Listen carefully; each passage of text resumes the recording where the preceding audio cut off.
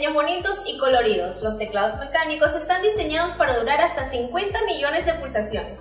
Pero de verdad, ¿es buena idea gastar más en un teclado mecánico? A continuación te explicaremos cómo funciona. Los teclados de membrana son bastante sencillos. Cuando presionas una tecla, este empuja una membrana de goma haciendo contacto con un circuito registrándose un key press, mientras que los mecánicos son un poquito más complicados. Aquí tenemos dos piezas de material conductivo separadas por una barrera.